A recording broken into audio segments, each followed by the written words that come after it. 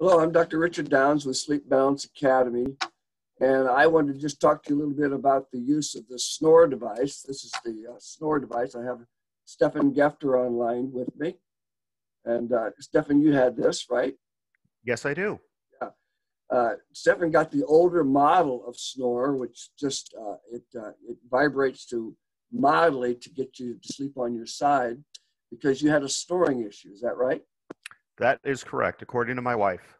Yeah, that's true. As a matter of fact, yes. ask patients about whether they snore or not. The, the, the better question is, do you know if you snore or has anyone told you that you snore? Because many yes. people don't know that they do. That's correct, exactly. And so, what was it causing for you? What kind of issues? Well, I think it, it uh, for, for, my health, um, you know, I would wake up very fatigued in the morning. Uh, my wife would wake up also very fatigued and complain about the uh, snoring during the night and having to wake up and shake me and try to get me to move position.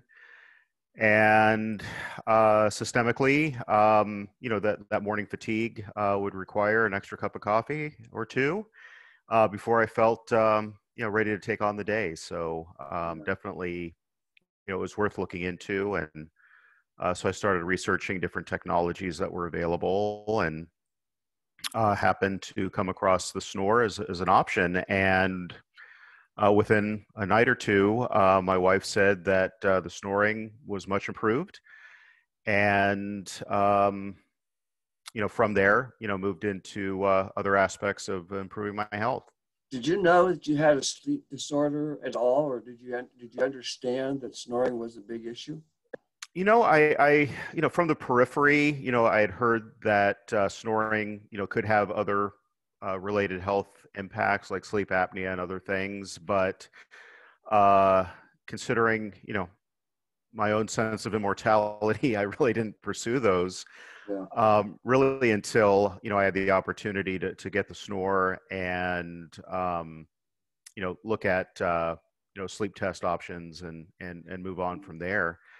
And remarkably, uh, I was diagnosed with uh, sleep apnea. Mm-hmm. And that led to me uh, getting uh, an oral appliance, uh, which um, I'm actually going to reschedule a sleep test, um, you know, for the next few weeks to see, you know, between the initial diagnosis in the spring and, you know, seven months later, if there's been um, any improvement in that. Okay. So Stefan, uh, when you got the SNOOOR device, um, uh, I talked to you about the possibility that you might have a sleep disorder. Is that correct? That is, that is, and, and very much appreciate that guidance. Um, even though I'm in the dental industry myself, I'm not really involved in the in the sleep mm-hmm. or the sleep apnea uh, side of um, of the profession. Yeah. And having your your input was uh, was very instrumental in me uh, getting myself checked out. And Stefan, what what is your uh, role in dentistry right now? What company do you work with? Well, I work for a company called Aseptico, and I handle the international sales as well as some of our strategic business. Uh, we manufacture primarily uh, dental implant motors, uh, endo motors for root canals, as well as portable field equipment for mission work and public health in the military and such. Yeah, I'm quite familiar with that. Thank you, Stefan.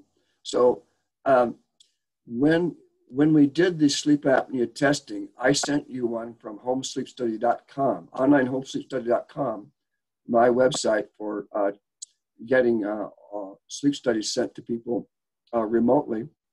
And then I had the online homesleepstudy.com uh, board certified sleep physician give you a diagnosis, which you took to your physician. Is that correct?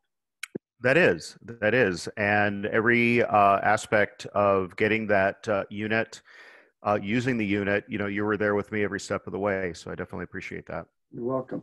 So, uh, right now, uh, would you say that uh, snoring was a good step? This this first step, the snoring device was a good first step for you to finally realize your need for a home sleep study. Absolutely. And again, um, you know, my, my initial priority was to reduce or eliminate my snoring.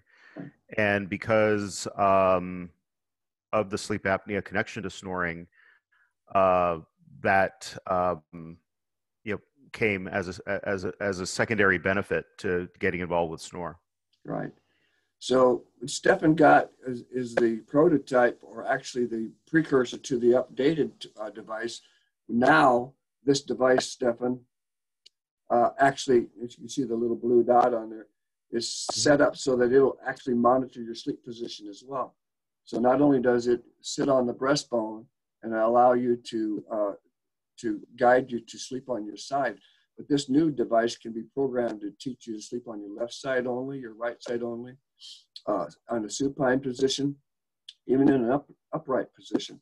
It has the versatility to do that as well as record all night long which side you're sleeping on and how long.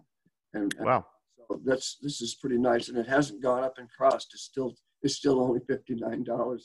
That's great. Cents. So it's uh, it's been great to uh, to uh, find these upgrades and uh, to be able to offer them to people. So anyway, I think that uh, your story is very important because the dentist and the chiropractors and other uh, medicine people that I talk to about SNOOOR and who are trying to find patients within their practice who are interested in getting treatment for sleep apnea don't realize that snoring could be the key. There's a lot of people are interested in snoring. There's a whole lot of interest out there. And once they uh, become a SNOOOR uh, customer, they can also uh, then be uh, talked to with a more uh, more interest in their possible having a, a, sleep disorder. So I thank you for this testimonial. It's very important to us. Oh, not at all. And and you know, as part of my journey in investigating um, the different options for treating sleep apnea, there are certainly a lot out there. So patients yeah. should not be intimidated about you know one particular technology. There may be other options available to them that may be less you know cumbersome or prohibitive. So uh, it, you know, doing that research is very important as well. But again, SNOOOR opened that door for me, and you know, I'm very grateful. Yes, there are actually devices out there that do the same thing as this thing does, and but they are uh, around uh, 250 to 300 dollars to to uh, for a dentist to get. So. Yeah, and I, and I was referring more to uh, uh, for the sleep apnea treatment uh, relative to a CPAP okay. or a um, exactly. oral appliance. Exactly. You know, I went the oral appliance route because I do uh, travel for business, or at least mm-hmm. I did before the yeah. pandemic. Um, but really, I was looking for something more portable and, and, and a lot less cumbersome. And using that in conjunction with the SNOOOR, again, my wife is uh, getting a lot more rest, and I think I am too. I'm glad you brought that up, uh, Stefan, because uh, this can be used in addition to your oral appliance, and it can also be used in addition to a CPAP use. In other words, Many times our sleep disorders are positional. People are snore worse on their back and they have breathing issues worse on their back. And by, by teaching people to sleep on their side, you can improve the function of the oral sleep appliance as well as a CPAP device. So there's a combination therapies are very, very useful. Thank you. Yeah, that's yeah, that's been my experience for sure. Yeah, good. Well, thank you very much. I appreciate your help. Not at all, and I appreciate you and the effort you're putting into helping people uh, get healthy. Thank you so much. Thank you, Stefan.